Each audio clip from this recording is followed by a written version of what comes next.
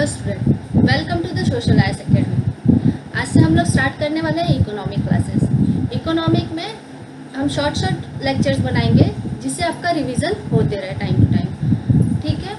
तो आज हम जो टॉपिक कवर करने वाले हैं, वो banking and non banking sector तो हम लोग पहले देखते हैं बैंकिंग होता क्या है और नॉन बैंकिंग होता क्या है. बैंकिंग मतलब ऐसी संस्थाएँ, ऐसे सेक्टर्स जिसमें हम लोग चेक इशू करवाते हैं, चेक डिपॉजिट करते हैं और चेक विड्रॉल करते हैं। इसमें हम लोग फिक्स डिपॉजिट करते हैं, एफडीआई वगैरह जिसको हम लोग बोलते हैं, फॉरेन डायरेक्ट इन्वेस्टमेंट। और फिर ऐसी बहुत सारी इसमें अकाउंट्स होते हैं, जैसे सेविंग अकाउंट होता है, करेंट अकाउंट होता है, रिकरिंग अकाउंट होता है, ये सब टाइप के बैंकिंग में अकाउंट्स होते हैं। फिर हम देखेंगे कि बैंकिंग होती क्या है। इसमें दो टाइप की बैंकिंग होती है, एक प्राइवेट बैंक और एक public sector bank public sector bank मतलब क्या? अब आप लोग को पता है पब्लिक सेक्टर अगर मैं किसी चीज़ के लिए बोल रही हूँ, किसी टर्म के लिए यूज़ कर रही हूँ तो उसका मतलब ये होता है कि मोर देन फिफ्टी परसेंट जो हिस्सेदारी होती है, वो गवर्नमेंट ऑफ़ इंडिया की होती है और फिर यानी गवर्नमेंट की होती है। तो वो होता है पब्लिक सेक्टर प्राइवेट सेक्टर में क्या होता है? ऐसी संस्थाएँ जिसका more than fifty percent means fifty one percent more than fifty percent private holders के हाथ में उसकी शेयर होल्डिंग पावर रहती है। उसको हम लोग बोलते हैं प्राइवेट सेक्टर ठीक है? हम लोग देखेंगे बैंकिंग बैंकिंग में जो पब्लिक सेक्टर बैंक है, उसमें आप देख सकते हैं एसबीआई जैसे बैंक आते हैं। ठीक है?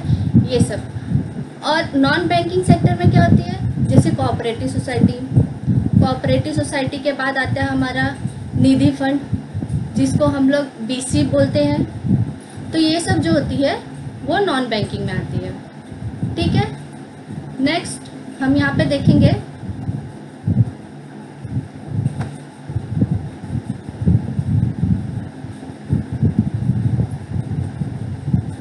बैंकिंग सेक्टर अब इसमें मैंने जैसे पहले ही दो बातों को डिवाइड कर दिया था बैंकिंग और नॉन बैंकिंग में।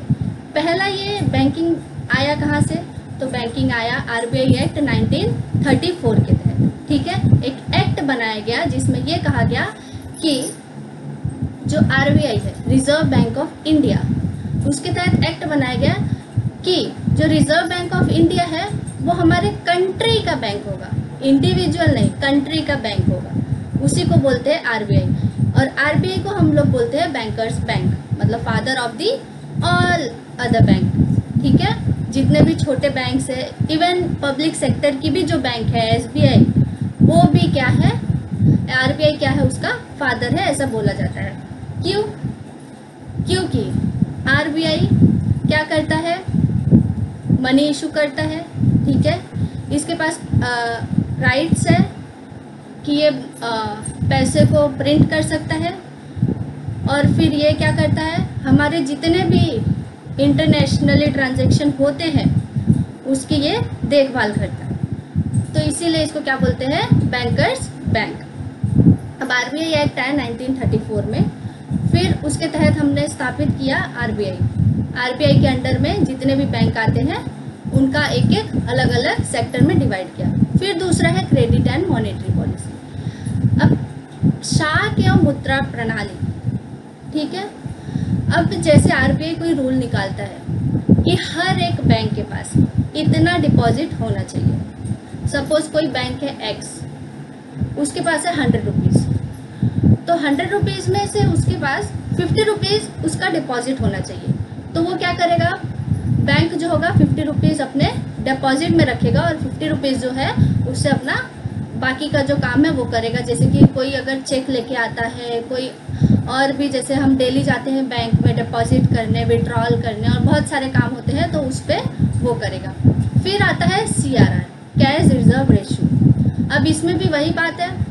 क्रेडिट में क्या होगा? आपके गोल्ड ठीक है? गोल्ड होते हैं बॉन्ड होते हैं सिक्योरिटी होती है शेयर्स होते हैं, वो सब रखी जाती है। और कैश रिज़र्व रेशियो में जैसे जिस तरह से हम लोग क्रेडिट को रखते हैं, उसी तरह से हम लोग कैश को रखते हैं इसमें, ठीक है?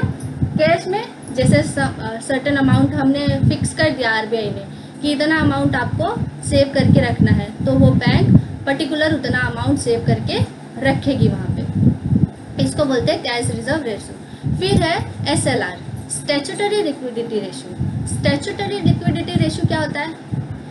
अब इसमें ऐसी होती है जैसे कि तरलता। लिक्विडिटी का मतलब क्या होता है? तरल। ऐसे रेशोज या फिर ऐसी लिक्विडिटी जो कि तुरंत हम उसको कैश करा सकते हैं ज़रूरत पड़ने पे, ठीक है? फिर आरबीआई बोलता है रेपो रेट डिसाइड होगा हर एक बैंक के लिए। अब ये रेपो रेट क्या होता है? रेपो रेट वो रेट होता है जिसके तहत आरबीआई बैंकों को लोन देता है। सपोज़ किसी बैंक को ज़रूरत है। आईसीआईसी बैंक का एग्ज़ाम्पल लेते हैं। आईसीआईसी बैंक है, उसके पास कोई गया एक करोड़ रुपया विड्रॉल करने के लिए, ठीक है? उसका करंट अकाउंट है, वो एक करोड़ रुपए विड्रॉल करने के लिए गया। अब वहाँ पे क्या हो रहा है? आईसीआईसी के जो ब्रांच में वो गया है, वहाँ पे उसके पास एक करोड़ रुपए नहीं है। उसके पास फिफ्टी लाख ही है। तो वो क्या करेगा? फिर वो आरबीआई से कांटेक्ट करेगा और उनको बोलेगा कि आप मुझे फिफ्टी लाख दे दीजिए रेपो रेट की दर से और मैं आपको within a fourteen days और वन वीक इसको रिटर्न कर दूँगा। तो आरबीआई एक इंटरेस्ट रेट ठीक है, जिसको हम लोग इंटरेस्ट रेट बोलते हैं आरबीआई उसी को लिए यूज़ करता है रेपो रेट ठीक? तो आरबीआई एक रेपो रेट डिसाइड करेगा कि इतना परसेंट सपोज़ 5.6 परसेंट आपको रेपो रेट की दर से हम लोग 50 लाख रुपीस 14 डेज़ के लिए दे रहे हैं। ठीक? फिर आता है सीएमएम कॉल मनी मार्केट अब क्या हुआ कि आरबीआई के पास थोड़े फंड की ज़रूरत होगी। आरबीआई को भी तो ज़रूरत पड़ सकती है फंड की। अब वो क्या करेगा? मार्केट से पैसे लेगा। अब ऐसे पैसे तो नहीं लेगा। अब आप ये सोच रहे होंगे कि आरबीआई तो खुद ही पैसे छापता है तो वो कैसे पैसे ले सकता है? लेकिन कुछ लिमिटेशंस होती है, जो आरबीआई एक्ट 1934 बना, उसमें कुछ लिमिटेशन है कि आप इतना इतना ही पैसे एक टाइम पे प्रिंट कर सकते हो, उससे ज़्यादा नहीं। बट फिर भी आरबीआई को पैसे चाहिए तो वो क्या करेगा? गवर्नमेंट की जितने भी सिक्योरिटीज़ और बॉन्ड है मार्केट में, वो उनको लेना स्टार्ट करेगा और फिर उनको मार्केट में डिस्ट्रीब्यूट करेगा, जिससे आरबीआई के पास क्या आएगा? पैसे आ जाएँगे और सिक्योरिटी जो बॉन्ड है, गवर्नमेंट की, वो पब्लिक या फिर कोई इन्वेस्टर आके उसको परचेस करेगा। तो इससे क्या हो जाएगा? आरबीआई के पास पैसे आ जाएँगे। फिर एल लिक्विडिटी एडजस्टमेंट फैसिलिटी। अब इसको एडजस्ट करने के लिए एक फैसिलिटी बनाई जाती है, जैसे कि हम लोग देखते होंगे, नॉर्मली अगर घर का भी बजट कुछ बिगड़ जाता है तो हम लोग कहीं ना कहीं से उसको एडजस्ट करते हैं। ठीक है? सपोज़ आरबीआई के पास गोल्ड पड़ा हुआ है, वो क्या करेगा? आरबीआई की सिक्योरिटी है वो। अब वो क्या करेगा? फटाक से गोल्ड को क्या करेगा? वो कहीं ना कहीं जाके कैश करेगा अब कहीं ना कहीं कहाँ जाएगा? अब ये थोड़ी ना लेके हर दुकान दुकान भटकेगा कि भाई इसका कैश कर दो, भाई इसका कैश कर दो। आर है। तो वो क्या करेगा? वही गोल्ड का वो मार्केट में देगा। ठीक है? मार्केट में डिस्ट्रीब्यूट करने के बाद वो गोल्ड एक रेशो के रूप में उसको मिल जाएगी। और फिर वो अमाउंट वो अपने जिस काम के लिए उसको चाहिए पैसे, वो यूज़ कर लेगा। फिर होता है बेस रेट अब base rate base rate calculate कैसे करते हैं? बेस रेट जो कैलकुलेट करते हैं, वो कि बैंक के पास डिपॉजिट कितना है? Total deposit of bank plus total loan amount total loan amount ठीक है? Total loan amount total deposit total C total SLR ये जितने भी है, इनको ऐड करके वो क्या करेगा? बेस रेट निकालेगा। और बेस रेट हमेशा कैलकुलेट होता है लास्ट ईयर पे। ठीक है? अभी 2019-20 है तो इसका बेस रेट कैसे कैलकुलेट होगा? 18-19 के ऊपर। ठीक है? फिर उसके बाद आता है C A R C A R मतलब कैश एडिकेट रेशो अब कैश हम लोग अनुमान लगाते हैं कि हाँ अभी ईयर ख़त्म नहीं हुआ है। हमारा बुक्स ऑफ़ अकाउंट प्रिपेयर नहीं हुआ है बट हम लोग एक एस्टिमेट रेडी करते हैं कि हाँ and at the end of the year हमारे पास इतना अमाउंट रहने वाला है। तो क्या करेंगे? एक इसको बोलते हैं अप्रॉक्सीमेटली अमाउंट हम इसको मान के चलते हैं। फिर रिवर्स रेपो रेट अब रिवर्स रेपो रेट क्या होता है? अब आप सोच रहे होंगे रेपो रेट तो ऊपर ही पड़ा, अब रिवर्स रेपो रेट क्या है? तो रिवर्स रेपो रेट ये होता है, जैसे कि आरबीआई बैंकों को लोन देता है। कभी कभी ऐसा होता है कि आरबीआई को भी पैसे की ज़रूरत पड़ सकती है, ठीक है? अभी कोरोना देख रहे हैं, कोरोना की बीमारी चल रही है तो आरबीआई को भी तो ज़रूरत होगी पैसों की, क्योंकि उसे गवर्नमेंट ऑफ़ इंडिया को देने हैं पैसे, कुछ इन्वेस्टमेंट करने होंगे कई सेक्टर में। तो वो क्या करेगा? अब आरबीआई बैंकों से लोन लेगा। बैंकों से लोन लेगा, इन द सेंस पैसे लेगा, ठीक है? तो अब जो बैंक चार्ज करेगी, जो बैंक आरबीआई को चार्ज करेगी, उसको बोलेंगे रिवर्स रेपो रेट, ठीक है? अभी करंट में चल रहा है, reverse repo rate point seven five से कम किया गया है, ठीक है? रेपो रेट नहीं कम किया है, रिवर्स रेपो रेट कम किया है, ठीक है? फिर यहाँ पे देखेंगे एमएसएफ मार्जिनल स्टैंडिंग फैसिलिटी अब हम लोग देखेंगे हमारे पास एमएसएफ कितना बचा हुआ है। फिर O M O open money operation अब इसमें क्या होगा? जैसे कि हेलीकॉप्टर मनी के बारे में आप लोग सुन रहे होंगे न्यूज़ में, अगर न्यूज़ देखते होंगे तो। तो उसमें देखा होगा कि सब बात करें कि हेलीकॉप्टर मनी प्रिंट करो। हेलीकॉप्टर मनी होती क्या है? कि आरबीआई ऐसे पैसे छापे, ठीक है? पैसे छापे कुछ पैसे छापे जो कि पब्लिक जो गरीब तबका है, उनके तक पहुँच सके। अब उन तक जब पैसे पहुँचेंगे तो हमारे कंट्री में जो इकोनॉमिक क्राइसिस बोल रहे आने वाली है, वो नहीं आएगी। क्योंकि इससे क्या होगा मार्केट का सर्कुलेशन चलते रहेगा। जब पब्लिक के पास पैसे रहेगी तो वो खरीदना स्टार्ट करेगी, सामानों को लेना स्टार्ट करेगी, बेचना स्टार्ट करेगी तो इससे क्या होगा, एक बैलेंस मेंटेन होगा। ठीक है? इसी को बोलते हैं ओपन मनी ऑपरेशन ठीक है? ये था बैंकिंग फिर उसके बाद हम लोग देखेंगे नॉन बैंकिंग नॉन बैंकिंग में कौन सा आता है? N B F C act nineteen fifty six ठीक है? नेशनल ठीक है? N B F C act nineteen fifty six अब ये जो एक्ट आया, इसमें क्या हुआ? पहले बहुत सारे लोग ऐसे होते थे जो बीसी लेते थे बीसी भरवाते थे और फिर बाद में पैसे लेके वो भाग जाते थे। तो आरबीआई के पास कंप्लेन आने लगी। आरबीआई तो जा नहीं सकता पर्टिकुलर इंडिविजुअल हर जगह में तो उन्होंने एक एक्ट बनाया 1956 का। ठीक है? ये भी एक्ट किसके अंडर में बना?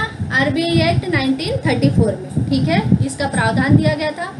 अब इसमें ये बोला गया कि जितने भी शेयर स्टॉक है सिक्योरिटी ये सब ये सब आएँगी एन एक्ट 1956 में। लेकिन इंडस्ट्रीज़ और एग्रीकल्चर ये दोनों जो चीज़ें हैं ये इसमें नॉन बैंकिंग सेक्टर में नहीं आएँगी एनबीएफसी एक्ट में नहीं आएँगी। क्यों नहीं आएँगी? क्योंकि आप सबको मालूम होगा कि एग्रीकल्चर हमारा प्राइमरी सेक्टर है। हमारी जो इकोनॉमी है, वो एग्रीकल्चर और इंडस्ट्री पे डिपेंडेंट है। तो ये इंक्लूड नहीं होगा। जितनी भी प्राइमरी सेक्टर की चीज़ें होती है, वो एनबीएफसी में नॉन बैंकिंग फैसिलिटी में नहीं आती है। इतना चीज़ आपको ध्यान में रखना ठीक है? फिर इसमें बोलता है, दूसरा नो डिमांड डिपॉजिट अब इसमें आप लोग डिमांड डिपॉजिट नहीं कर सकते हो, ठीक है? डीडी जिसको बोलते हैं, आप नॉन बैंकिंग में डीडी नहीं कर सकते अब डीडी होता क्या है? कभी आपने देखा होगा स्कूल का फॉर्म भरा होगा या फिर कॉम्पिटिटिव एग्ज़ाम का फॉर्म भरा होगा तो उसमें लिखा होता है कि आप ये ये अकाउंट नंबर पे एसबीआई या फिर कोई पब्लिक सेक्टर की बैंक का डिटेल दिया होता है, इस पर आप डीडी करके पोस्ट कर सकते हैं। तो आप ये कोई कोऑपरेटिव सोसाइटी या फिर नॉन बैंकिंग सेक्टर से ये नहीं कर सकते हो, ठीक है? फिर नो चेक इशू जैसा कि मैंने पहले ही बोला कि इसमें चेक इशू नहीं किया जाता है। फिर इसमें क्या होता है? डबल कंट्रोल इसमें क्या होता है? डबल कंट्रोल होता है। पहला तो एक आरबीआई का होता है और दूसरा क्या होता है? जो नॉन बैंकिंग के जितने भी होते हैं हेड्स उनका इस पर कंट्रोल होता है। ठीक है? फिर इसमें बोला है नो आरबीआई कंट्रोल ठीक है? आरबीआई का कंट्रोल कैसा होगा? वो इसको सिर्फ़ मॉनिटर करेगा।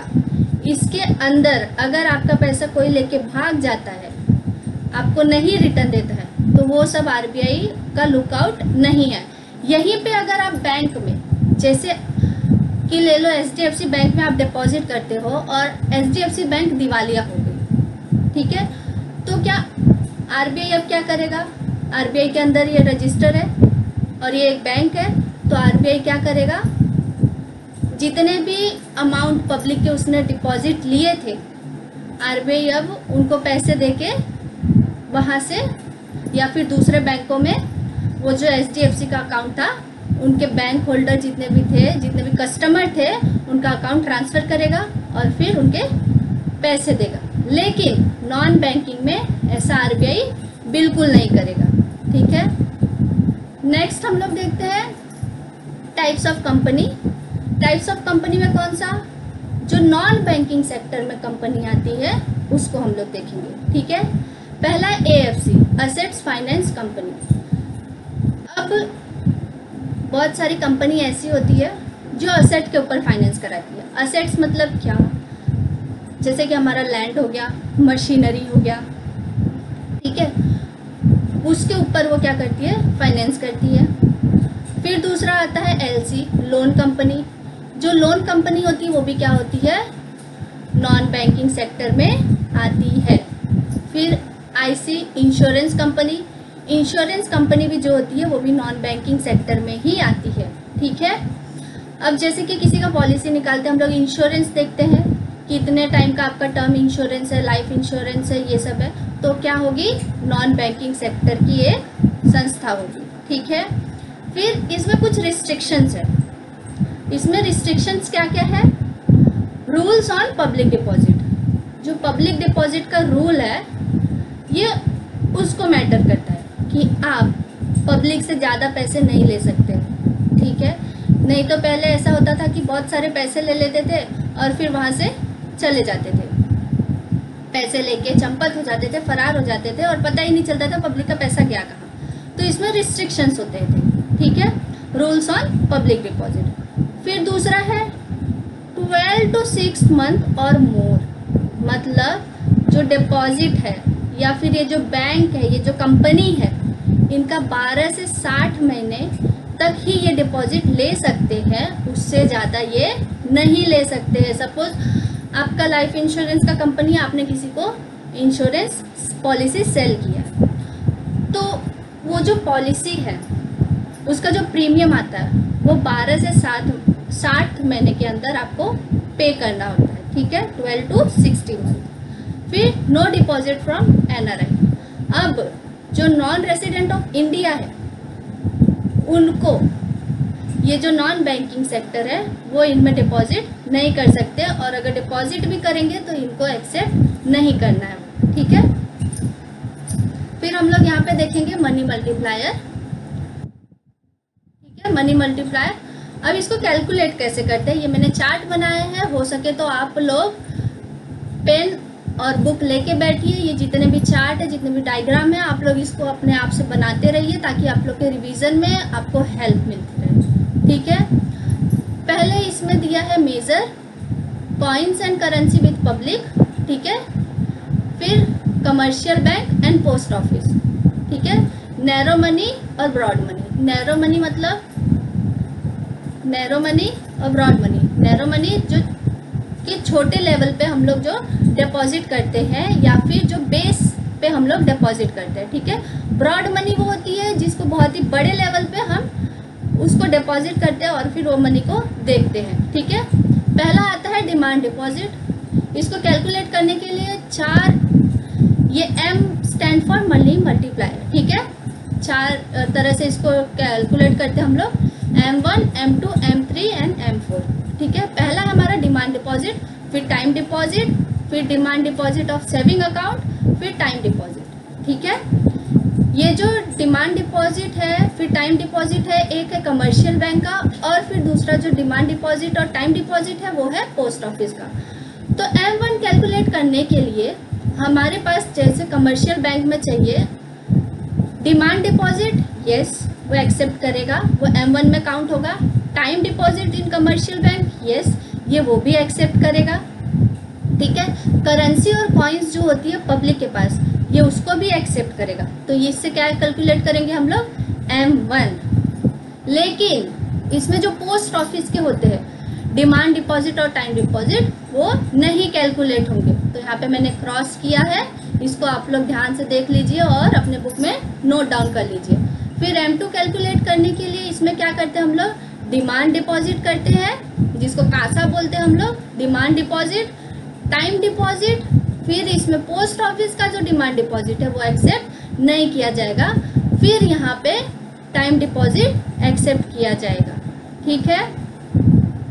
फिर उसके बाद में एम थ्री का काउंट हम लोग ऐसे करेंगे कि डिमांड डिपॉजिट और पब्लिक करेंसी ये दोनों एक्सेप्ट करेगी येस और फिर डिमांड डिपॉजिट और टाइम डिपॉजिट पोस्ट ऑफ़िस का डिमांड डिपॉजिट और कमर्शियल बैंक का टाइम डिपॉजिट ये दोनों एक्सेप्ट करेगी। ठीक है? फिर पोस्ट ऑफ़िस का टाइम डिपॉजिट और डिमांड डिपॉजिट एक्सेप्ट नहीं करेगी। फिर एम फोर में हम लोग कैलकुलेट करेंगे। एम फोर मतलब ये सारे डिपॉजिट्स को एक्सेप्ट करेगी। ठीक है? जितने भी डिपॉजिट है, ये सारे डिपॉजिट को एक्सेप्ट करेगी। ये चीज़ें याद रखना।